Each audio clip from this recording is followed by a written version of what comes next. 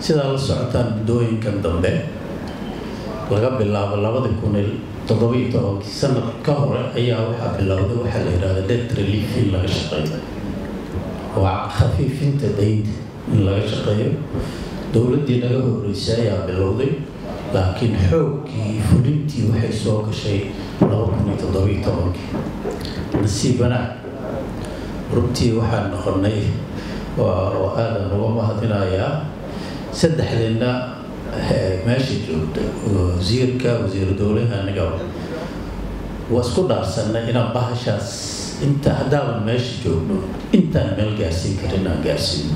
Waxaan u maleynahay wasaaradda keliya oo dhexdeeda khilaaf iyo buuqan laga maqlin inay tahay u waa keen. Meel baan soo gaarsiinay maanta waxaanu joognaa wasaaradda wasaaradaha kale waxay kaga duwantay. Dadka ka shaqeynaya nin garab lagu keensaday nin la riixayo ma jiraan kulli. Markaad ka bilowdid agaasimaha guud ilaa iyo ninka ugu dambeeyo karaaniga all of them waa graduates waa xisaabiyaal waa economist waa aqoon-yahan ayadoo dhanba. Nasiibtaasi u hesha runtii markaa rabtaan oo kulligii wasaaradaha waxaan umaleynaa dad badan inay wada yaqaaniin. Agaasimihii guud ay soo fiirinaya marka marka isaga laga bilaaba kureyla ninkii ugu dambeeya. Kan igee iyo kaa ka bixiyo wasaaraddan umataal runta markaa rabtaan aad ina u dhib badan tahay. Waana la eedaa dhibaato. Waynu soo gaarsiinay. Maanta heer waxaanu soo gaarnay. Waxaa la yidhahda debt reliefka meel weyn inuu soo gaaro. Hadda marka hadda waxay taagantahay aada waxaanu taaganahay waqtigii la dhihi jiray public finance management oo dhib badan in la fuliyo sanadkan. Nidaam badan buu leeyahay wuxuu la imaan doonaa shuruuc badan wuxuu la imaanayaa qaab badan.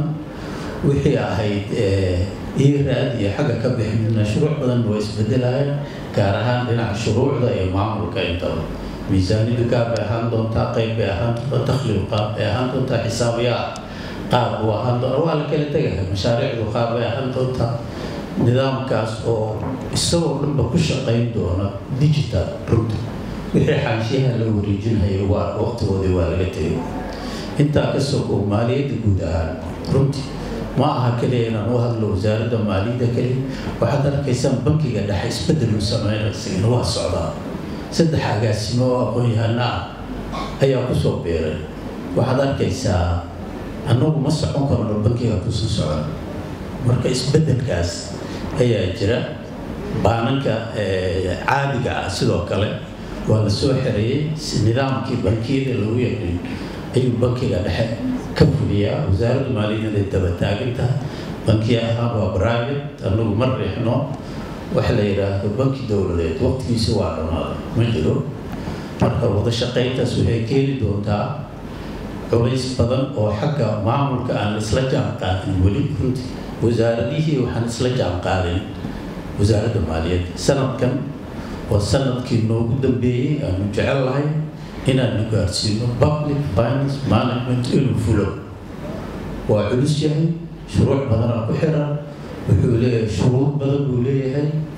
Marka inaan ku dheeraado ma jeceli runtii waxay tahay anigu saddexdeeni meesha wasiirada kale ee nasiibaan u helnay inaan saddexdaas sano afartan sano meeshaas soo gaarsiino haddii naloo sii naloo sii daayana meel kale waa sii gaarsiinaynaa insha allah tacaala waanu riixi doonaa waxaan ruyal meeshan aad iyo aad ugu kalsoonahay inaa idiin sheego.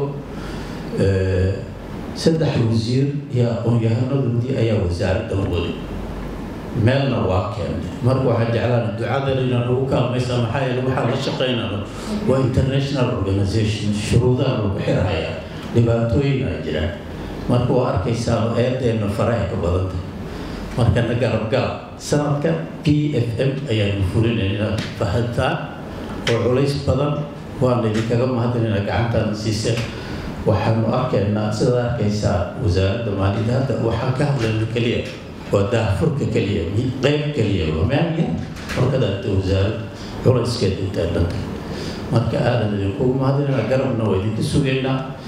Dee wasaaradu indhahay taagan goormaa budgetka la furaaya oo wax la helaya kitikash la helaya waxaasay ka fikiraan wasiirkeeni wasiiru dowlaheeni waa ku dhawaaqay. Budgetka maanta laga bilaabo waa furay insha allah tacaala